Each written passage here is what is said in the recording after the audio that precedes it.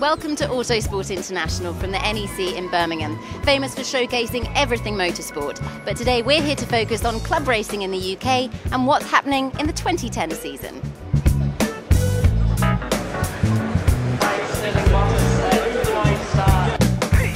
Keith Messer is director of the 750 Motor Club, one of the stalwarts of the motor racing industry in the UK. What's coming up in 2010? Uh, very much the same as our last few years. We're, we're running 11 championships. BRSCC is one of the biggest clubs in British motorsport and a major presence here at the Autosport Motor Show.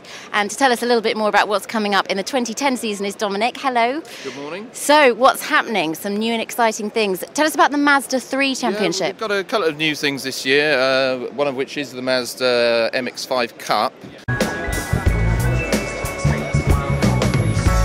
MSV are one of the biggest players in British motorsport with 16 series under their umbrella. They're a track owner. British Superbikes is also run by them, and they have some very new and exciting things happening in the 2010 calendar.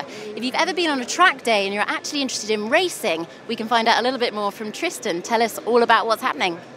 Yeah, thank you very much. Uh, we're launching the new Track Day Trophy in 2010. This is a new initiative launched by Club MSV, which is Motorsport Vision's in-house track day department. So, specifically for the 2010 season, obviously starting off as um, Britcar, Brit Sports, and then you introduced Production S1. I mean, it, there's just so much going on.